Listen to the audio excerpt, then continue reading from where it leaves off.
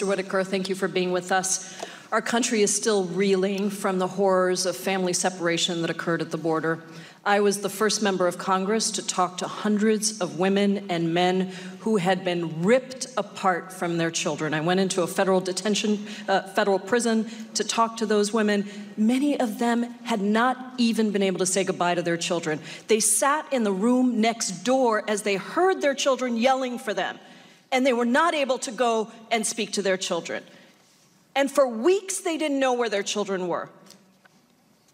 I most of these women, most of the men, were seeking asylum.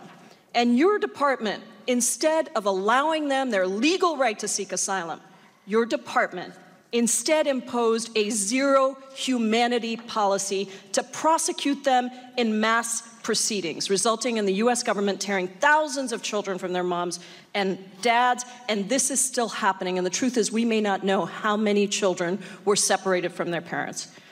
So, Mr. Whitaker, you were Attorney General, Chief, uh, former Attorney General Jeff Sessions' Chief of Staff at the time. Is that correct?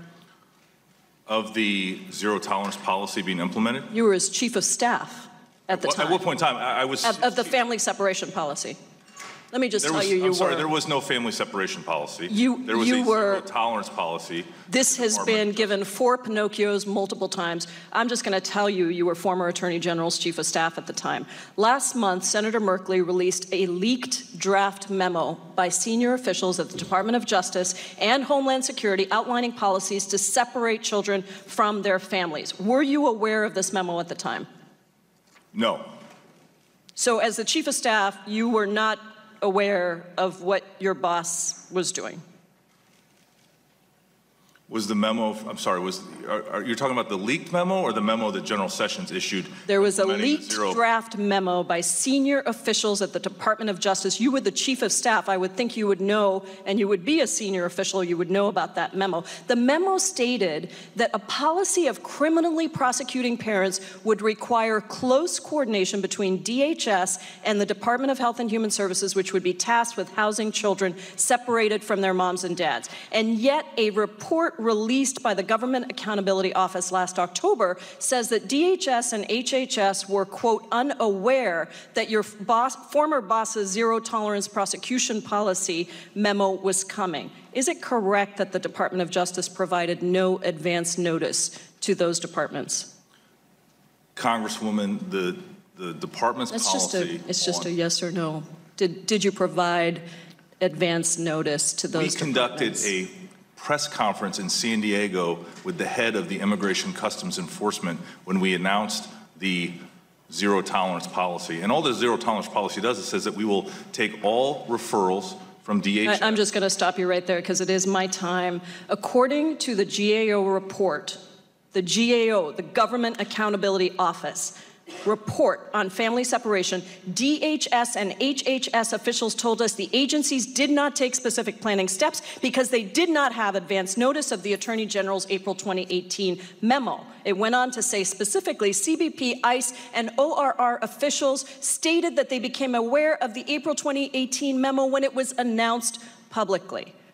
So before or after the zero, and actually, let me go back. Are you saying that CBP, ICE, and ORR lied to the GAO and that they were somehow aware and given advance notice?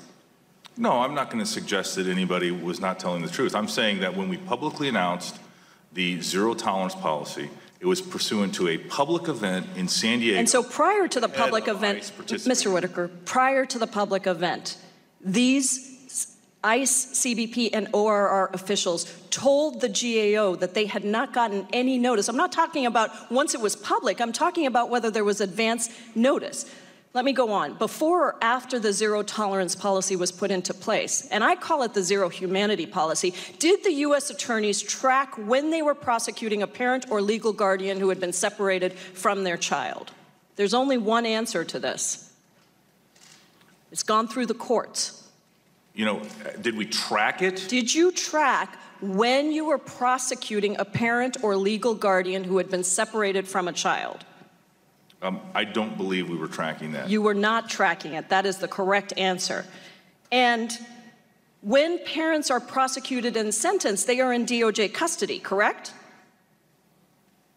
Correct, they are, tra- their, their custody is transferred to the U.S. Marshals. So these parents were in your custody, your attorneys are prosecuting them, and your department was not tracking parents who were separated from their children. Do you know what kind of damage has been done to children and families across this country? Children who will never get to see their parents again. Do you understand the magnitude of that? I, I understand that the policy of zero tolerance, Has the Justice Department started tracking parents and legal guardians who were separated from their children at the border? The, the time of the gentlelady has expired. The, the witness may answer the question. Congresswoman, I, I appreciate your passion for this issue, and I know that you've been very involved on the front lines of this. This is about more than my passion. This is about the children's future, Mr. Whitaker. Please answer. Go ahead, please. The witness may answer. Congresswoman, the responsibility for the arrest, the detention, and together with the custody of the children was handled by DHS and HHS before those people were ever transferred to DOJ custody through the U.S. Marshals.